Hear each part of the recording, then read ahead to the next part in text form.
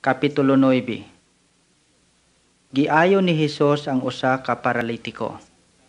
Misakay si Hesus sa usa ka sakayan ug mibalik pagtabok sa lanaw ug miabot sa lungsod niya.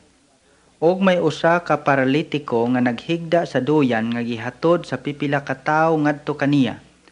Nakita ni Hesus ang kadako sa ilang pagsalig kaniya og miingon siya sa paralitiko.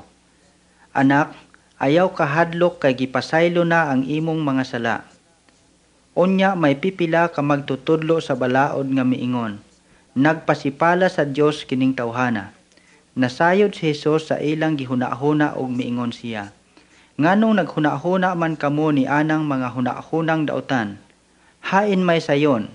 Ang pag-ingon ba? Gipasaylo na ang imong mga sala? Kung ang pag-ingon ba? Bangon og lakat. Karon ipakita ko kaninyo nga ang anak sa tao may gahom dinhi sa yuta sa pagpasaylo sa mga sala. Busa miingon siya sa paralitiko, Bangon, dada ang imong gihigdaan og pauli sa inyo. Og mibangon ang paralitiko og mipauli. Sa pagkakita sa mga tao ni ini, nangahadlok sila o gidayeg nila ang Dios tungod sa paghatag niya ni ining gahuma ngadto sa mga tao ang pagtawag kang Mateo. Unya mibiya si Hesus ni adtong dapita. Og samtang naglakat siya, nakita niya ang usa ka kubrador sa buhis nga ginganlag Mateo, nga naglingkod sa sulod sa iyang opisina. Miingon si Hesus kaniya, sunod kanako. Og mitindog si Mateo og misunod kaniya. Samtang nagkaon si Hesus didto sa balay ni Mateo, may daghang kobrador sa buhis og mga makasasala nga miduol og misalo kaniya sa iyang mga tinun-an. Nakakita ni ini ang pipila ka parisiyo og miingon sa iyang mga tinun-an. Nganong nakigsalo man ang inyong magtutudlo sa mga kobrador sa buhis og sa mga makasasala.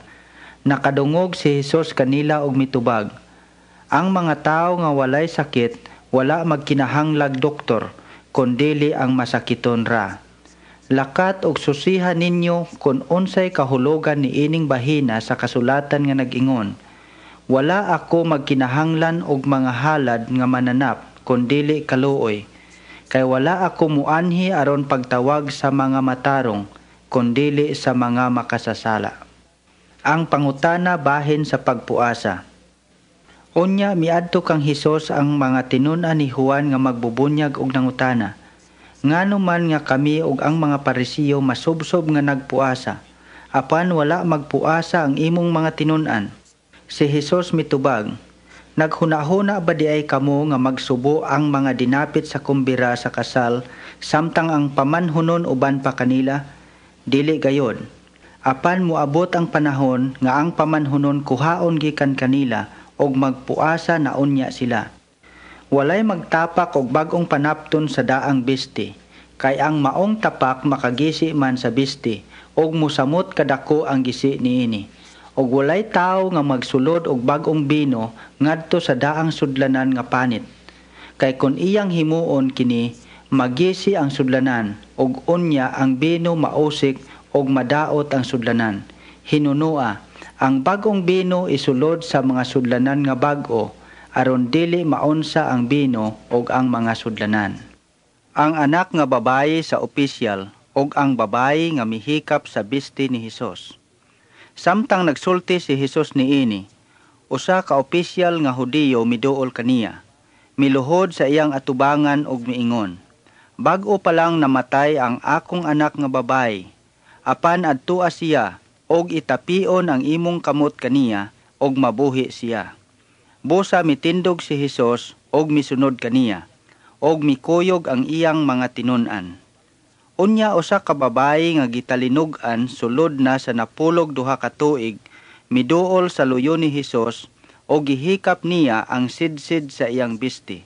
Kay miingon man siya siyang kaugalingon, Kung makahikap lamang ako sa iyang bisti, mamaayo gayod ako. Milingi si Hesus og nakita niya ang babae og miingon siya, Ayaw kahadlok anak, ang imong pagsalig maoy nakaayo kanimo, og niadto gayong gutloa naayo ang babae. Busa miadto si Hesus sa balay sa opisyal. Sa pagkakita niya sa mga musikero alang sa paglubong, og sa mga tao nga nagkaguliyang, miingon siya, Gula kamong tanan, wala mamatay ang bata, natulog lamang siya. Tungod ni ini, gibugal-bugalan nila si Hesus.